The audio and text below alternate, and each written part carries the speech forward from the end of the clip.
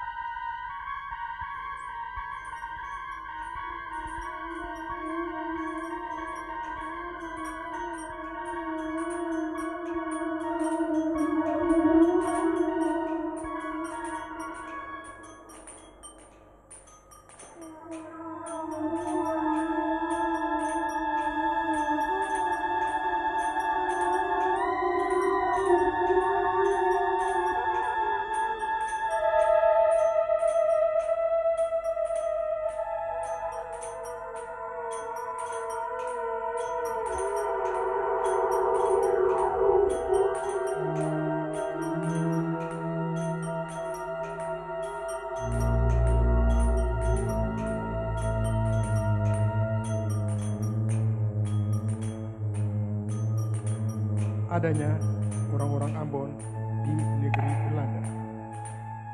Tanggal 28-29 bulan Desember tahun 1949, Belanda menyerahkan kemerdekaan kepada rakyat Indonesia dengan nama Republik Indonesia Serikat RIS Verenigde Staten van Indonesia.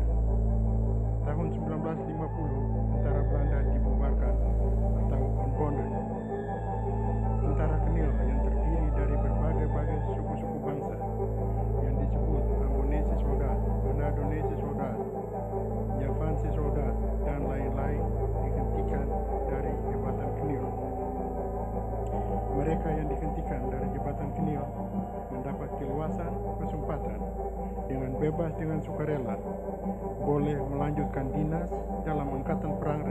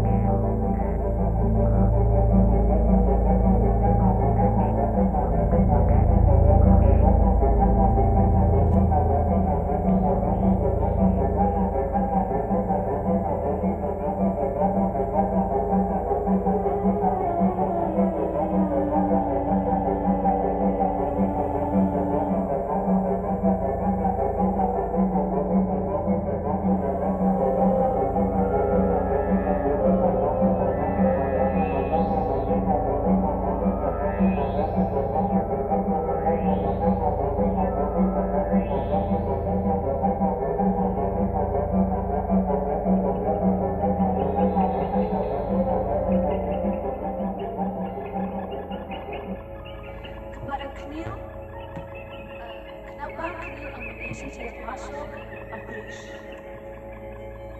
Kenil Amnésia, rindu pulang ke tanah asalnya di Maluku. Bagaimana sampai orang-orang Ambon datang di negeri Belanda?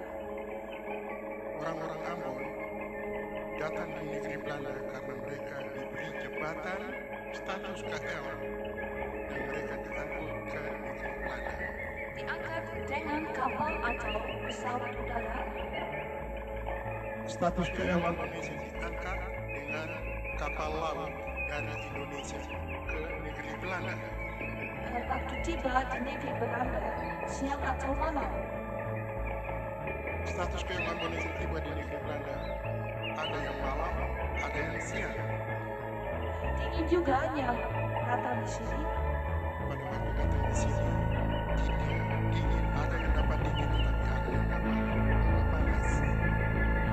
Dan udaranya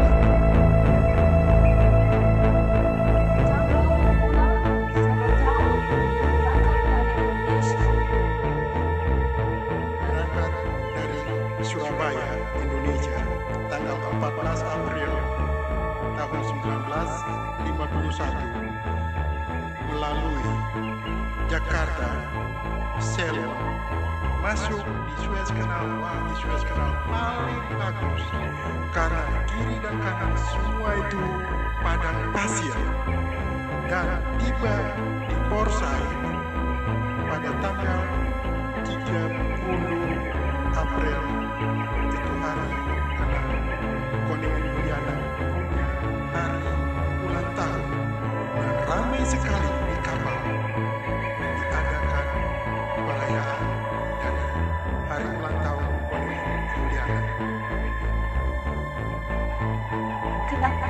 Indonesia tidak masuk? Ya, menurut perjanjian, siapa yang rindu boleh masuk, tetapi Kenil Ambonesian atau orang-orang yang dari Kenil pulang ke tanah asalnya di Maluku sesuai dengan persetujuan perjanjian dari pemerintah Belanda dan pemerintah Indonesia. Kembali di eh, tanggalnya yang berangkat dari Indonesia. Tiba di Holland tanggal bulan apa? Ya, waktu tiba di Holland, sesudah dari Porsche yang tadi beta menyatakan, maka tiba di Hoek van Holland tanggal 10 nih dan langsung ke eh, bukan bulan Juni, bukan bulan Juni, April, bulan Mei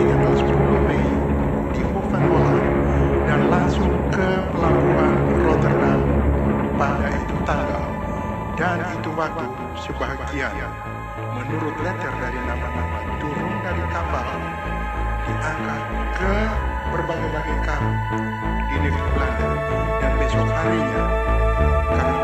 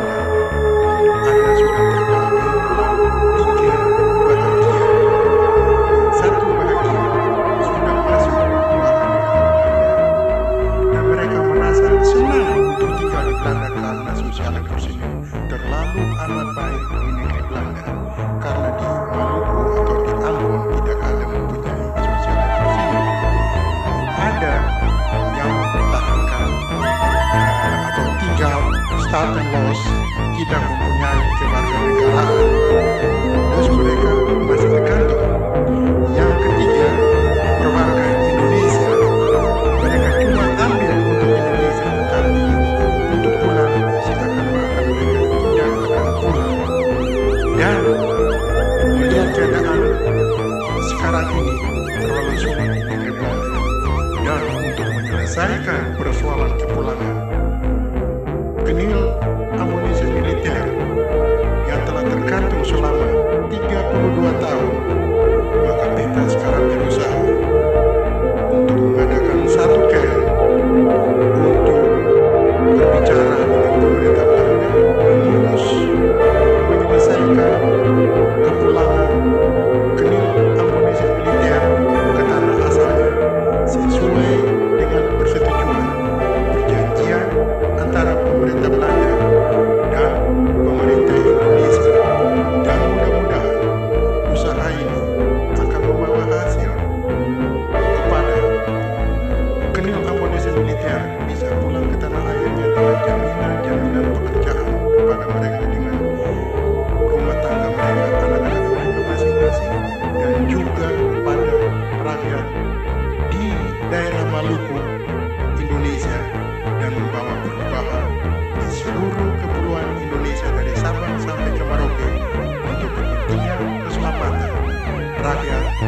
tiap-tiap suku-suku bangsa datang dalam satu persatuan dari Sabang sampai ke Merauke untuk keselamatan eh, semua rakyat Indonesia di Indonesia.